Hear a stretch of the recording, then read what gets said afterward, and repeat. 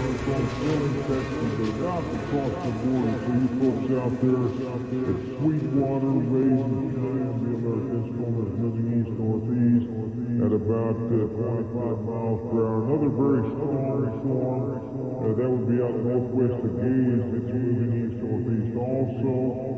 That storm is heading towards Sweet, Sweetwater could produce very large hail and damaging winds. At the Alpha system. You see the lightning track shows this going to be moving to the east northeast. Lightning